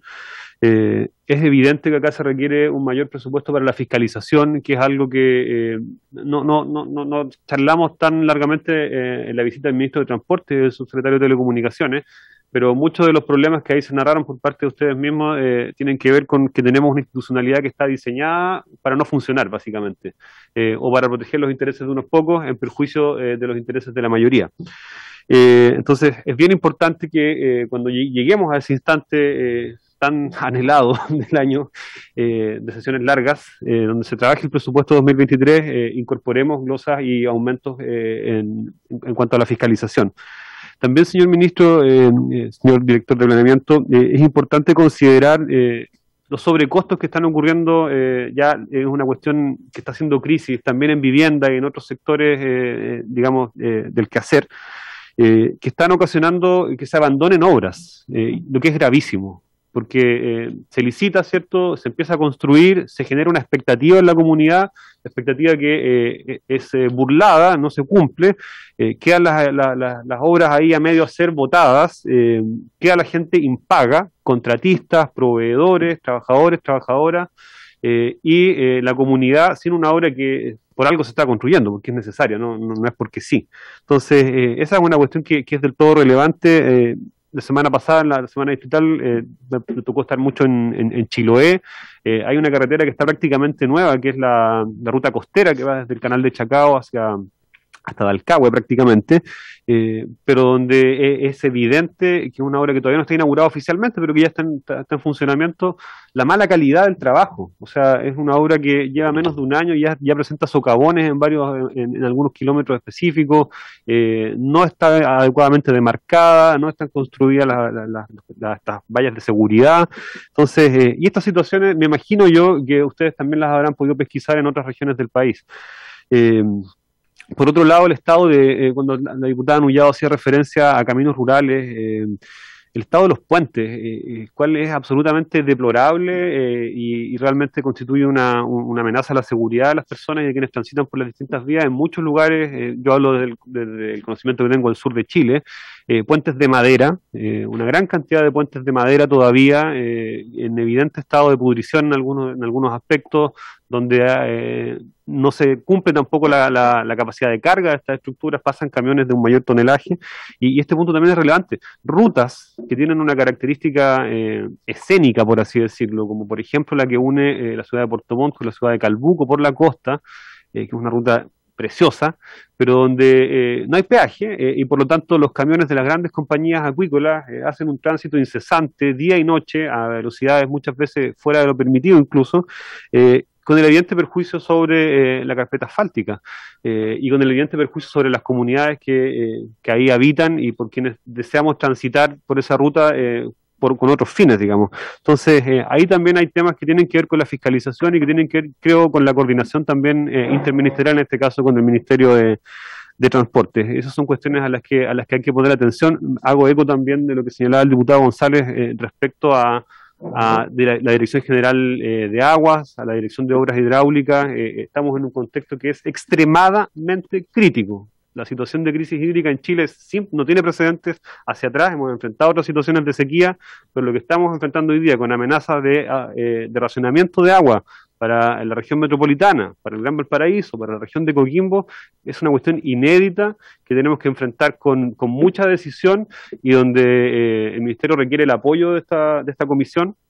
Yo pediría también ahí celeridad en, cuanto a esos, a esos nombramientos. Eh, eso. Ofrezco la palabra, nuevamente. Diputado Mirosevich. Muy breve, presidente. Muchas gracias. Saludar al señor ministro, también al director de planeamiento. Eh, hay, hay varias ministerios y comisiones en el Congreso que son partisanas, ¿no? Donde oficialismo y oposición legítimamente eh, abundan las diferencias, ¿no? Pero, pero en este caso, y quizás relaciones exteriores puede ser algo parecido, eh, hay una política de Estado y hay que mantener una cierta política de Estado con todos los ajustes y matices que, que un nuevo gobierno tiene que imprimirle, ¿no es cierto?, a la gestión. Pero yo creo que es clave que, este, este ánimo de colaboración se mantenga en, la, en, esta comisión y también de parte del ministro y del ministerio en general a escuchar al mundo parlamentario que si hay algo que tiene es calle. Si hay algo que tiene son caminos rurales y visitas a todos los lugares recónditos y rincones de cada una de las regiones. Y eso, eso vale, eh, no un trabajo de escritorio, el ser parlamentario. Y entonces creo que esa experiencia tiene que estar también al servicio de, de esta política de Estado, ¿no? Eh, termino diciendo que el cambio climático, usted lo mencionó, señor ministro, es clave en, las, en la mirada que tiene que tener este ministerio. Cambio climático, no solo por respecto del agua, que ya usted ha dicho, así un, es un gran tema, el 50% de su tiempo, nos dijo más. Eh, creo que ahora cambio climático tiene que ser una preocupación de esta comisión también. ¿ah? Bueno, eso, desearle mucha suerte y, y gracias, gracias, presidente. Es una preocupación de esta comisión, diputado Mirosevich. Quisiera darle la palabra al ministro para que pueda cerrar. Si no hay más puntos que tratar, señora diputada, señores diputados, eh, podríamos también estar en condiciones de terminar la, la sesión eh, dándole el espacio al, al ministro para poder despedirse. Antes de despedirme las últimas palabras, quisiera hacerme cargo que me pareció importante la diputada Nullado, que, que quería eh, más información de un plan para la región de la Araucanía, que me parece importante destacarlo, ya que es algo que está liderando la ministra del Interior, Isquia Siches, así que prefiero que el director de planeamiento, que está liderando la parte operativa, pueda darle entregarle más detalles a la, a la diputada, después yo la, las últimas palabras. Gracias, señor ministro. Eh, por ser intermedio, presidente, quería responder a la diputada Mellado, porque me ha tocado por encargo del señor ministro y de la ministra de Interior liderar la iniciativa que va, eh, va a ser específica para el Walmap. Es una iniciativa donde se han identificado 73 iniciativas prioritarias por es que, es que, perdón, diputado, lo que pasa es que, o lo podemos llamar, o son específicas, lo que pasa es que el plan del cual me estoy refiriendo no solo se refiere a la región de la, de la Araucanía, define 23 provincias que parten en el sur del Biobío hasta Pido, no, por favor no, no tiene, poner atención y no dejar la ninguna. No tiene ninguna provincia identificada fuera de Chile, consta con 23 provincias que ya estaban identificadas previamente durante la administración del ministro Moreno, ¿ya? Y en estas 23 provincias parten en el sur de Biobío y terminan al norte de la región de los lagos, están identificadas en un plan que tiene establecido el Ministerio de Obras Públicas dentro de las fronteras de la República. Son 73 iniciativas prioritarias por el orden de 244 mil millones de pesos que se van a estar identificando y se les va un seguimiento prioritario dentro del plan que establece el gobierno. Eso quería responder a la diputada eh, Nuyao, específicamente lo que tiene este plan que, eh, bueno, este director se ha querido referir a él con este nombre porque identifica un área cultural mayor que solamente la región. Si quería hacer ese alcance. Me parecía pertinente, eh, perdón si me permite, señor, señor presidente, hacer un alcance que creo que va a ser una buena noticia para lo que plantea el presidente Sáez y el diputado Coloma. Yo esta mañana he hablado con la gerencia de la Cámara de la Construcción para iniciar un estudio de los reajustes polinómicos y así evitar la caída de licitaciones que es evidente que está ocurriendo en todas las regiones del país. ¿ya?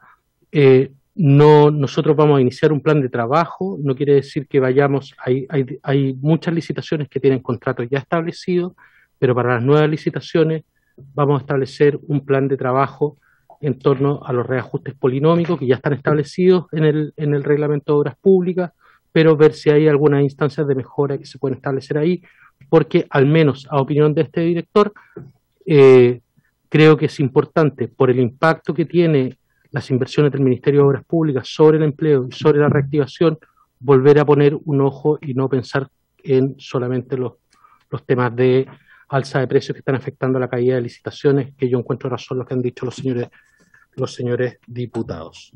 Eh, señor ministro, no sé si hay algún otro alcance que quiera hacer o extender un poco más. Ministro.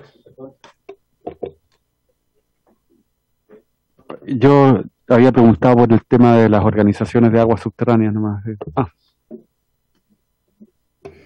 Sobre sobre ese tema que, que, que había planteado el presidente por su intermedio, eh, voy a averiguar es que en qué está ese detalle para no darle una respuesta inexacta. Eh, de aquí han salido cosas que a mí me parece que son tremendamente valiosas.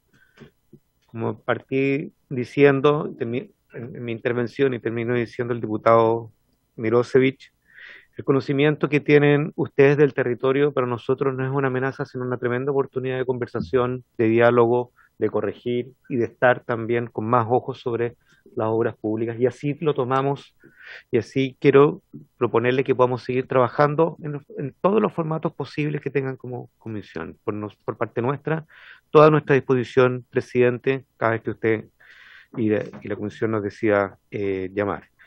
Eh, tenemos desafíos grandes, efectivamente, en Agua Potable Rural hay una serie de iniciativas que se están hablando, los servicios sanitarios rurales es un desafío importante para apoyar a las agrupaciones. Em, eh, la idea es fortalecer el sistema más que debilitarlo. Existe una virtud en el trabajo que están llevando las agrupaciones que nosotros queremos fortalecer.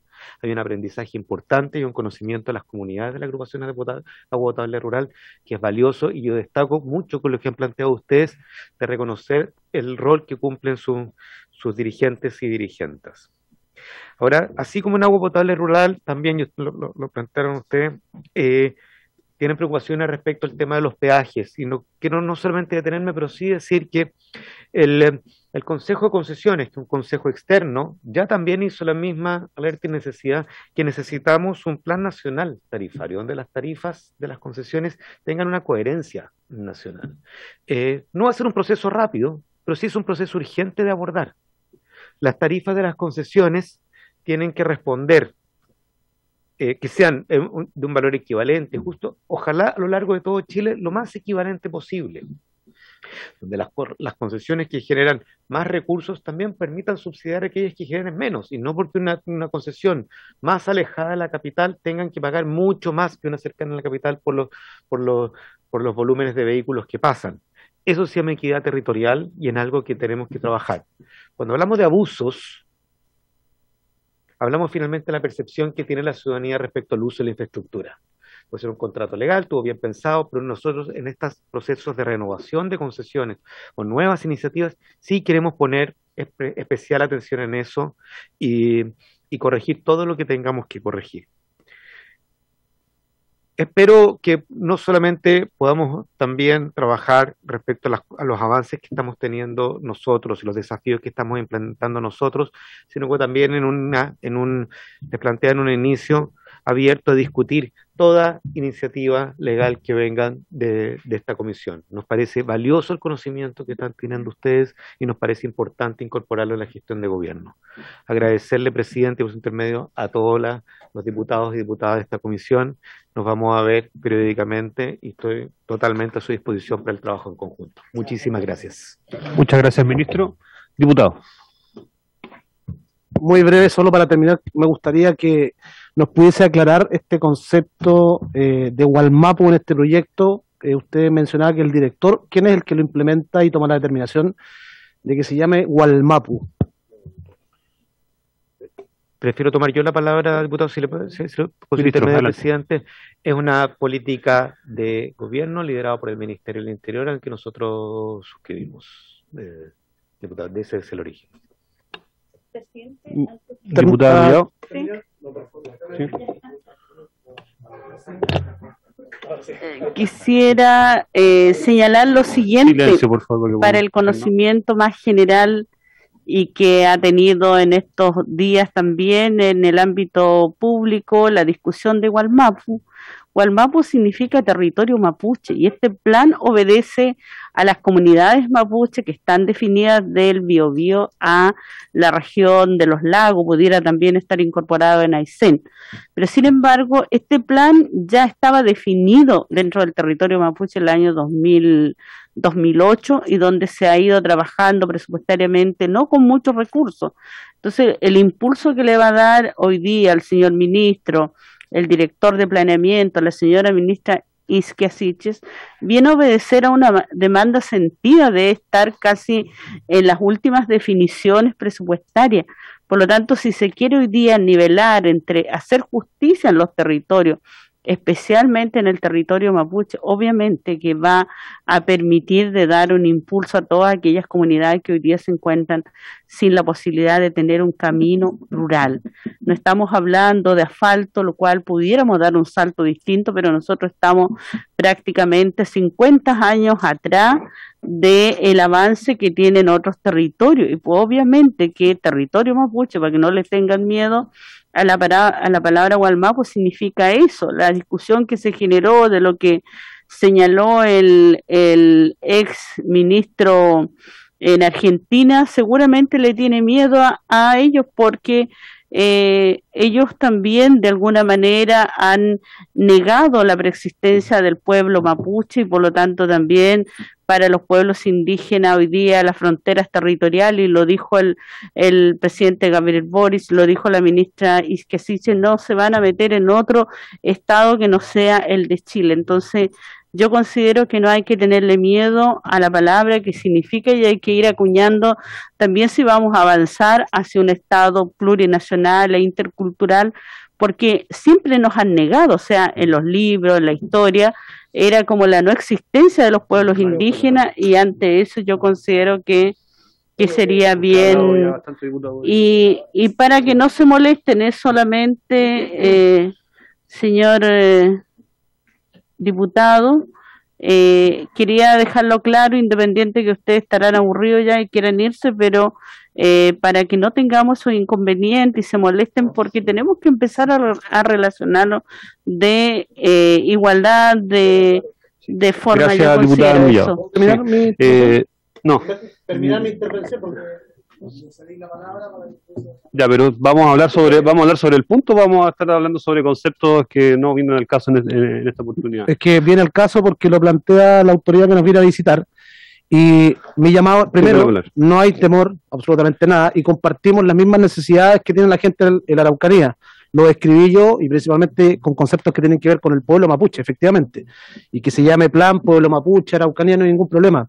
Pero generar un debate, una discusión de un concepto que es tremendamente polémico, donde ya la propia ministra Ike Siches pidió disculpas. Entonces, la pregunta es, ¿nos quedamos con las disculpas o vamos a seguir en el mismo tema o bajo el mismo trato? Yo entiendo, diputada eh, eh, Nullado, eh, que usted representa a un pueblo mapuche que hay un sentimiento y eso yo lo respeto al 100%. Usted representa a su gente, pero ustedes son funcionarios de Estado y representan a todos los chilenos, no solamente a un pueblo en particular. Entonces yo como representante de la región de la Araucanía y de mi territorio, les pediría que respetemos la institucionalidad. Usted es ministro, usted es director, yo soy diputado y se llama región de la Araucanía. Eso se lo pido por favor para que nos entendamos bien también. En todo caso, nunca ha estado en duda el nombre de la región, estamos hablando del nombre del plan. Diputado Badilla, le voy a dar la palabra un minuto, por favor, sea... Ya, está contando. Presidente, mire, respecto a lo que ha planteado la diputada de que nos queremos ir, no es así. Sí podemos escuchar, pero hay tiempos de término de la sesión y hay que cumplir con eso. No, solo una sugerencia, ministro, si usted me permite. Esta ha sido una comisión históricamente en que se ha privilegiado lo técnico por sobre las legítimas diferencias políticas que tenemos.